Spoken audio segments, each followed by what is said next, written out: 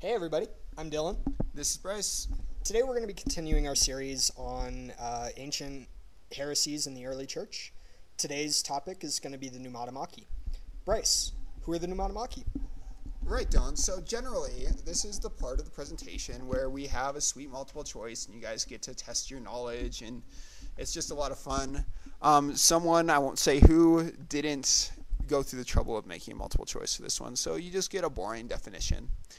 In any case, the Pneumatomachi were in fact a 4th century Christian sect. The name itself means spirit fighters, and they believed that the Holy Spirit was a gift from God to believers, but was not a member of the Trinity, or divine in any sense, really. Um, they just thought that the idea of Trinity was unnecessarily complicated and figured let's keep it simple. Um, one of their main appeals for this, or main sources for this, was in Amos 4:13, which reads, or at least at the beginning, he who forms the mountains and creates the Hebrew word ruach. Now, ruach is a word that can mean either wind or spirit, but the Pneumatomachi took it as spirit and saw it as a reference to God creating the Holy Spirit. They also appealed to John 1 3, which teaches that everything was made through the Son. And the result was they generally held to this worldview where the Trinity was a hierarchy with the Father, um, creating the Son in an Arian manner, and then the Son with the helping the Father to create the Spirit and everything else. So, in essence, the Spirit is just a spiritual creature um, created for mankind's benefit. Well, Bryce, let's do a quick multiple choice right here. Everybody, who responded to the Pneumatomachi? Was it A. Gregory of Nazianzus, also called Gregory Nazianzen? Was it B. Basil of Caesarea the Great? Or was it C, Athanasius? Or D, all of the above? Yeah, it was D, all of the above. Oh, good save, Dylan. Thank you. The first person that we're going to talk about that responded to um, the Pneumatomachi was Gregory Nazianzen. And he responded in a three pronged systematic theology of spirit. The three prongs were sanctification, unity of the Godhead, and worship, which was a practice. So, sanctification he draws off of uh, 1 corinthians 15 especially the 42nd verse and and on from there where we will become like christ. So if the holy spirit is to assist us in our faith and to help us become godly but doesn't share equally with the nature of the father and the son how is he able to make us godly or to join us to the godhead?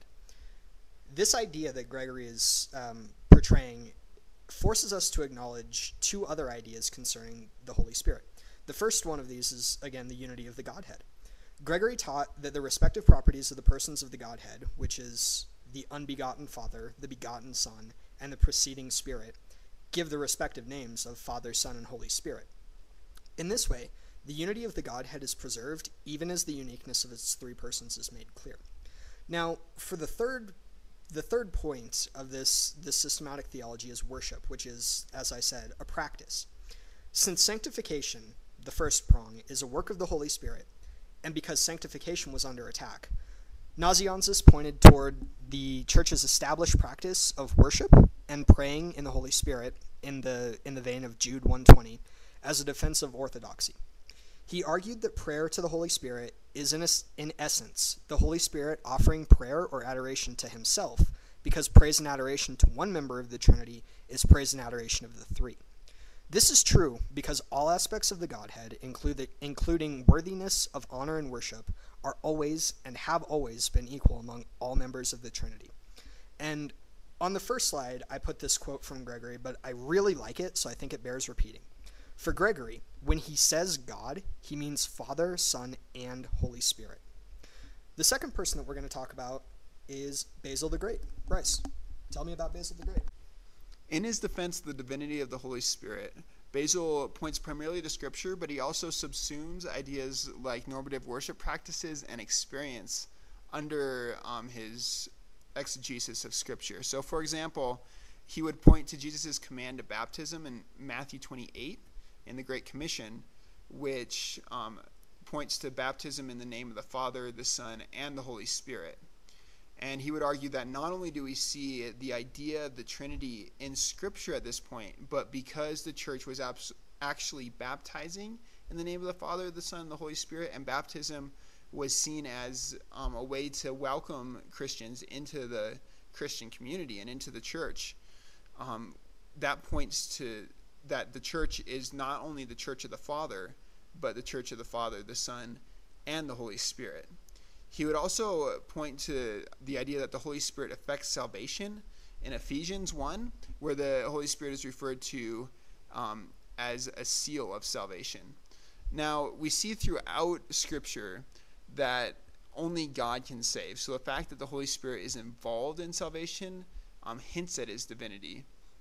Um, we also see in Scripture that the Holy Spirit is portrayed as sharing equal honor and dignity with the Father and the Son in regards to worship.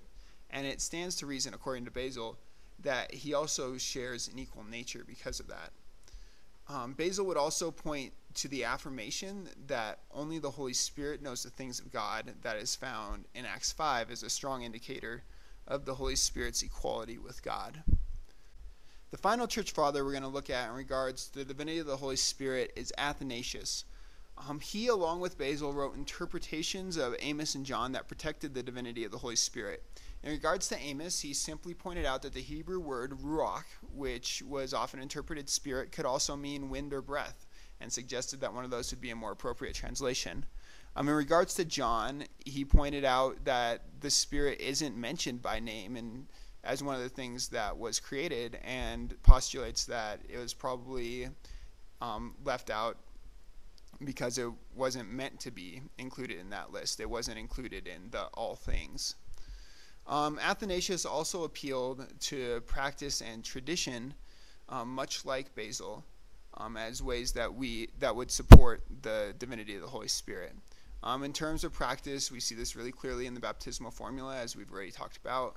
Um, and in terms of worship, it was just normative for church communities at that point to offer worship to the Holy Spirit.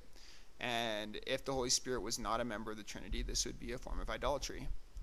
Finally, um, Athanasius wrote a treatise on the Holy Spirit, um, in which he said, and I quote, um, The Spirit is fully divine, consubstantial with the Father and the Son. Consubstantial just means of the same sub- substance.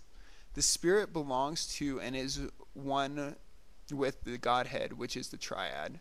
The Spirit comes from God, bestows sanctification and life, and is immutable, omnipresent, and unique. The triad is eternal, homogeneous, having one nature, and indivis- indivisible.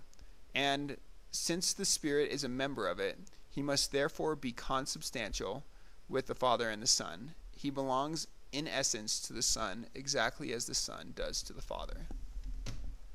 So, in keeping with our other tradition of linking what we're talking about in the early church with stuff that's modern, um, we're going to talk a little bit about Unitarianism, which does something very similar. The modern heresy um, of Unitarianism combines both Arianism and the pneumatomachi, and it's a theology that, exi- that insists that the Christian God is just one person, not a trinity, and regards the Son as a prophet, but not God, and the Holy Spirit as an agent of God, but not God. Unitarianism began after the Radical Reformation and during the period, period of the Enlightenment, when deism rose up, which was an intellectual and rational endeavor to understand God by means of reason alone, and thus rejected both church tradition and scripture as authoritative at any point where it clashed with reason. For deism, on the concept of the Trinity arose a group of anti Trinitarians who were later formalized in the late 18th century as Unitarians. Unitarianism, unlike its or rather like its parent deism, rejects both church tradition and scripture as authorities within the church and was openly condemned as a heresy when they rejected the Nicene Creed. So, there are a few things that are good to take away from this video.